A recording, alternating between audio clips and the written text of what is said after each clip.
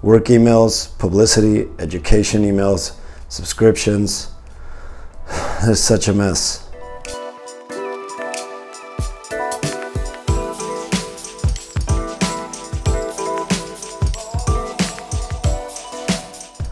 Work emails set up, personal emails set up, publicity emails set up. Okay, now we're talking.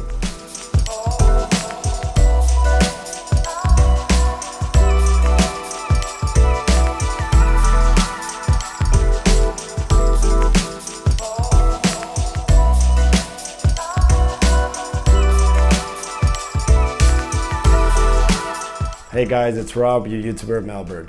You may know what it's like looking at your email account and feeling overwhelmed for having all kinds of emails mixed up in one single inbox. Well, the best way to leverage this is having separate email accounts, each for its own purpose.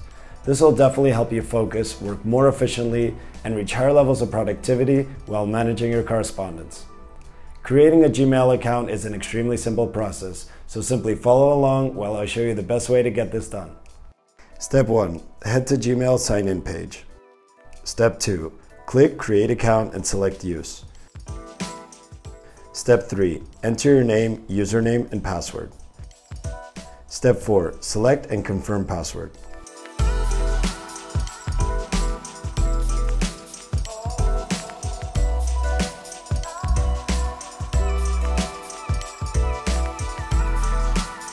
Step 5. You can add and verify a phone number and recovery email for your account, although this step is optional.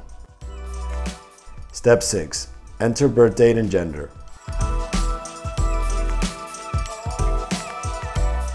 Step 7.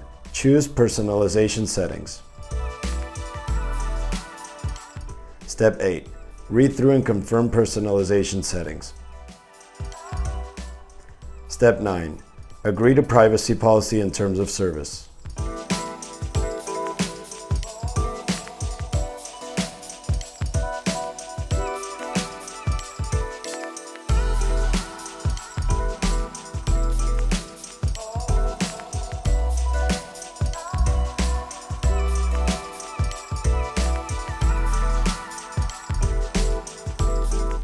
Step 10.